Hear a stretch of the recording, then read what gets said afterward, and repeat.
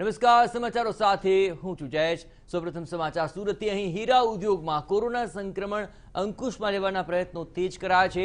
મૈદરપુરા હીરા બજારમાં થતી ભીડ ઉપર બાજ નજર રખાશે. માસ્ક વગર ફરનારા ઉપર રખાશે. સીસીટીવી કેમેરાથી નજર. બેદરકારી જણાશે તો કંટ્રોલ રૂમમાંથી માઇક દ્વારા સૂચના અપાશે.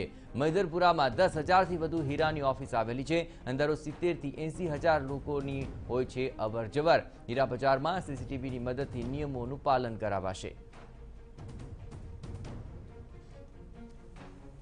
અનાજ મામલે વધુ વિગતે વાત કરવા માટે સુરતથી જોડાઈ રહ્યા છે ટીવી નાઇન સંવાદદાતા બલદેવ સુથાર.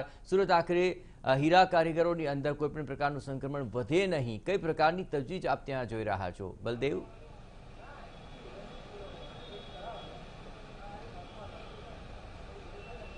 જયેશ જે રીતે સુરતની વાત કરીએ ત્યારે સુરત શહેરની અંદર સતત દિન પ્રતિદિન જે કોરોનાનું સંક્રમણ વધી રહ્યું છે, સાથે સાથે આ જે કેસોની સંખ્યા વધી રહી છે.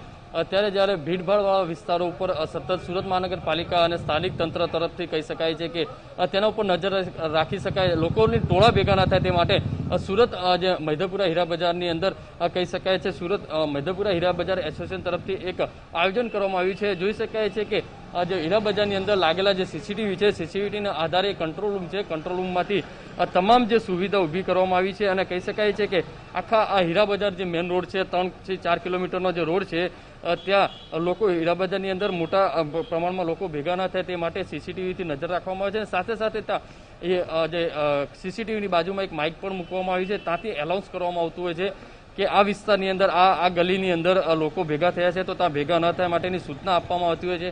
એટલે કહી શકાય છે કે જે રીતે સુરતની અંદર જે કોરોનાનું સંક્રમણ સતત વધી રહ્યું છે, તેને ધ્યાનમાં રાખી હીરા બજારની અંદર કહી શકાય છે જે રીતે સંક્રમણ વધે ને તેને ધ્યાનમાં રાખીને હાલમાં સ્થાનિક તંત્ર તરફથી આ જે કામગીરી કરવામાં આવી રહી છે, સાથે સાથે સુરત હીરા બજારની અંદર ટેસ્ટિંગની જે કામગીરી છે તે પણ વધારવામાં આવી છે, સાથે વેક્સિન સેન્ટર પણ શરૂ કરવામાં આવ્યું છે જેથી લોકો બહારથી આવતા હોય છે ત્યારે હીરા બજારની અંદર જ્યારે પોતાનું ટેસ્ટિંગ કરાવી શકે અને પોતાની ઓફિસમાં જઈ શકે તે માટેની તમામ જે સુવિધા છે અહીંયા ઊભી કરવા દેવામાં આવી છે.